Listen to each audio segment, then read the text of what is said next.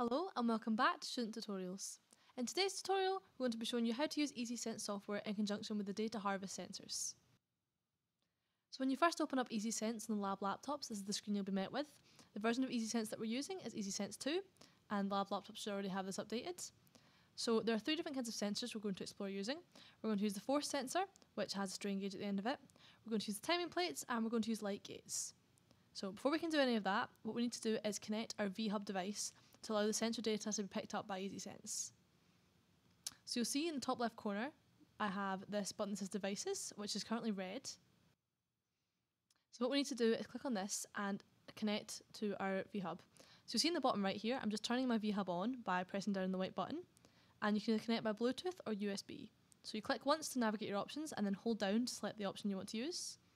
So for Bluetooth, you do this and initialize it, or for USB, you initialize it and then plug into the bottom. There we go, there's our USB port. So I'm going to connect to this using Bluetooth. So I'm just going to go back onto my Bluetooth tab here. And once I've initialized it and refresh on the top left corner, you see it allows me to connect to the VHub. So just make sure you stay on the Bluetooth tab while you're using EasySense or it'll disconnect. So now that we're connected, what we're going to do first is play around with the force sensor. So for the force sensor, you see I've got a video of it on the right here. It's got a strain gauge at the end. We're going to use the graph section. So there are four different kinds of experiments we're going to run. Uh, we're only going to use graph and timing today. So graph for this first sensor. You see I've clicked on it here and this is the screen you're met with. So currently on both axes it has time um, because we haven't connected our force sensor yet. So what we're going to do is go to devices and I'm going to plug my force sensor off camera here onto the first port 1A and then reconnect. And you'll see here that it's come up as a force sensor in newtons. You might have to toggle this on if it's the first time you connected it. And you'll see now that my left hand axis has now changed to say force rather than time. I can also go to the right here and change it to display readings rather than time. So this will display how many individual readings of data I've taken. But I'm just going to do mine in time, in seconds. And you'll see if I click on this live data box, you can also change the units, you can edit the name, you can edit the colour of your line. Like so. Now if I go to the bottom left here, it's cut off my camera, but there are three buttons. First one is setup, so we're going to click on this. You'll see I've got a few more options to customise, so we're going to stay in continuous mode. And you'll see there's interval, which shows you how often readings are taken. So 50 milliseconds is perfectly fine for what we're doing. You can select when to start taking readings, and you can select when it will stop taking readings. But again, I'm just going to leave it as selected so that I can do a continuous reading here. So to start taking a reading, I'm just going to go to the middle of my bottom buttons and press start. You'll see here it's now taking sensor data. So I'm just going to play about a bit with the force sensor. I'm just pulling on here to add a bit of force and compressing it. And you'll see it's just oscillating above and below that zero newtons line. And the data series on the right is just telling me how much force I'm applying. And I'm pressing stop here to stop my data. So a few things you'll notice here. The data saves temporarily in the run section. So you'll see here I've got my first run, it gives me the time that it was taken at. And the interesting thing about this is you can continue to take different runs of data and it will save in this run section. So if I go to start again and take a new set of data, you see that it looks like it's wiped out the old run. I'm just going to compress this and add some force to the end of it. Like so. And press stop. And if you go up to the run section now, what you'll see is that both runs have actually been saved. There we go. And if I toggle on run one, I can actually get both of my data sets on the same graph as well. Now a couple more things you'll notice. We have a calculate and smoothing button in the top tab. Um, EasySense obviously provides you with tools to do this, but we would recommend just exporting your data into a CSV and then doing this in Python as you have a bit more control over what you're doing. Also, if you want to save your files, you can go into your file section. Uh, if you press save as, it's going to save it as an EasySense file. So this just allows you to open it back up into EasySense and manipulate the data there. Or if you go to file and then export CSV, that's obviously just going to export it as a CSV file, which you can import into Python. So I'm just saving these on my desktop like so. Uh, and if you go into file, you also see here that there's options to import files and to open files. And that's what you do if you want to reopen something in EasySense that you saved before.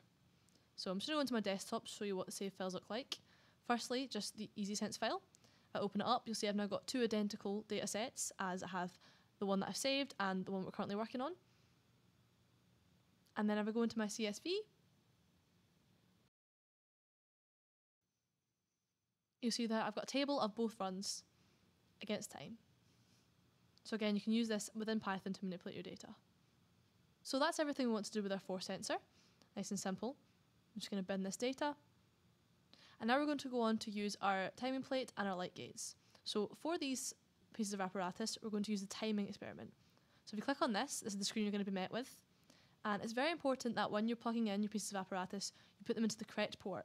So you'll notice on your VHub that you've got an A port and a B port. And I'll explain why this is important in a second.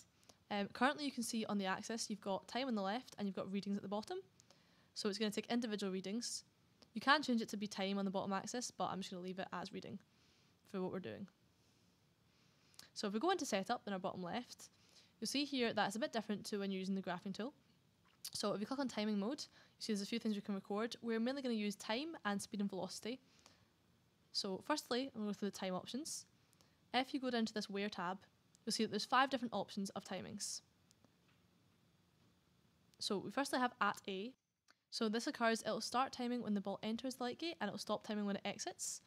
At A or B does the same thing, but it will take data for A when it goes to light gate A and then take data for B when it goes to light gate B. From A to B just starts timing when it enters object A, a light gate here, and ends timing when it hits object B, which is our time pad, as you can see in that clip. We've got at A then B, so this does it all combined, so it'll take a time that it takes to go through light gate A, time it takes to go through light gate B, and then time from A to B, all in the one reading. And then from A to A, this starts the timer when the ball goes through the light gate, and then it will end the timer when it returns back through the same light gate. So this is used for when balls are bouncing off walls, etc., etc. So that's your timing modes for speed and velocity. You have a few more measurements to put in. So at A, this is how you get your instantaneous speed and velocity. So you'll see there's a few different apparatus. The single interrupt is what we'd be using if we had a steel ball bearing. So here you just put in the diameter of your ball bearing and then it would obviously time it and calculate your instantaneous velocity from that. And then to get your average speeds, we're going to be going from A to B in our speed and velocity mode. So this would be like if you have two light gates, one at A, one at B, you would put in the distance between the two light gates and then EasySense will time it and give you a velocity based on that. So to give you an example of how the timing mode works, I'm going to choose from A to B in my setup here. In the timing mode. Just like so. Uh, and I'm going to do the timing it takes from A, which is going to be my light gate, to B, which is going to be my timing pads.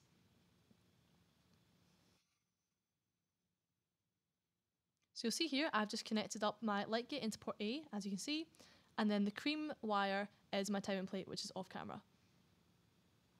So to make sure these sensors are connected, I'm going back into my top green button and I'm just going to refresh my sensors to make sure that they are linked in with my V-Hub.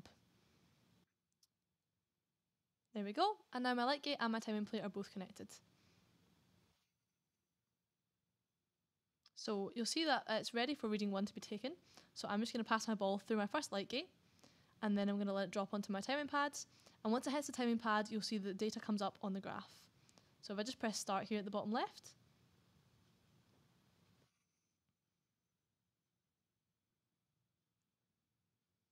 there we go. So about 0.5 seconds for our ball to go through, and then I take a second reading.